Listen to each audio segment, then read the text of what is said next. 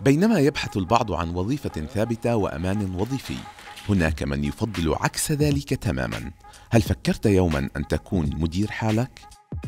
مدير حاله أشرف دواني وياسمين خاص. لما تكون أو تكوني مديرة حالك لحالك مش إشي سهل. فتخيلوا لما اثنين متجوزين يربطوا مصير العائلة مالياً بالعمل الحر. ممكن يكون الموضوع أكثر تعقيداً هيك. بس أشرف وياسمين عملوها. الاثنين بيشتغلوا في مجال السينما بيشتغلوا كل حدا مدير حاله لحاله. إحنا هلأ باللوكيشن عشان تتعرفوا عليهم.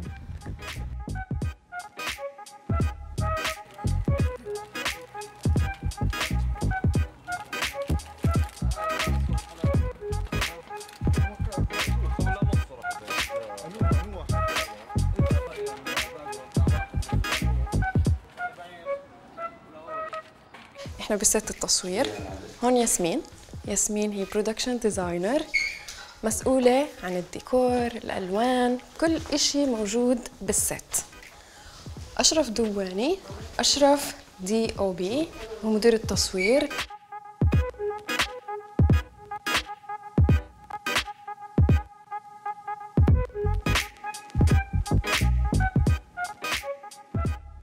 إنك تكون مدير حالك مع نفسك هو قرار أخذته ولا هيك إجت الظروف؟ أخذته. قرار أخذته طبعا ل...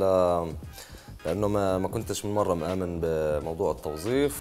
عم بشتغل ثلاث أرباع وقته باليوم عشان آه، يدخل هذا ال rate وفيش يعني ما فيش شيء يوصله لأبعد من اللي هو حابب يوصل لما يكون مدير حاله شو بيقدر يعمل مع نفسه؟ كل شيء. بحب أشتغل ب group ويكون شيء creative و...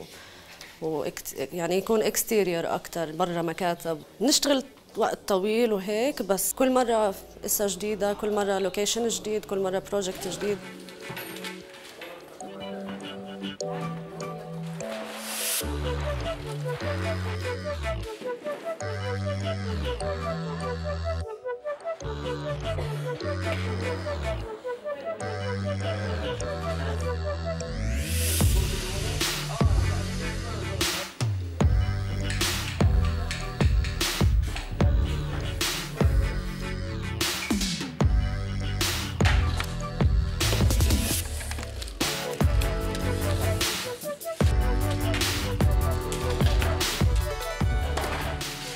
البداية أول ما بلشت كانت صعبة؟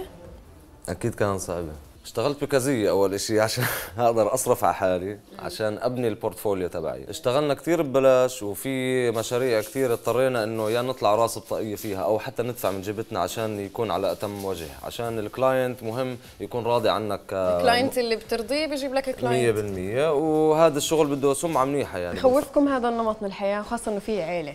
طبعا بخوف. يعني نمط ما فيه استقرار بالبداية؟ مرات نعم بس يعني عم بحاول إني ما أخاف فبحاول أنتج أكثر ومش بس أستنى ال project يجيني. بظن مش كفاية المصور إنه بس يشتغل كمصور. بده يشتغل بشغلات ثانية زي إنه يكون آه، بيعرف يعمل editing بيعرف يصور فوتوغرافي بالضبط sound لا مش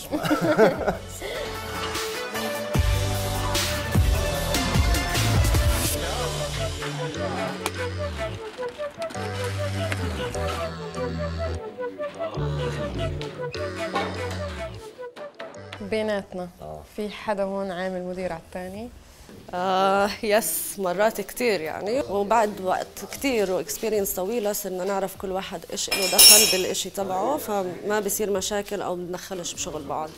يعني أكثر صرنا professional يعني بال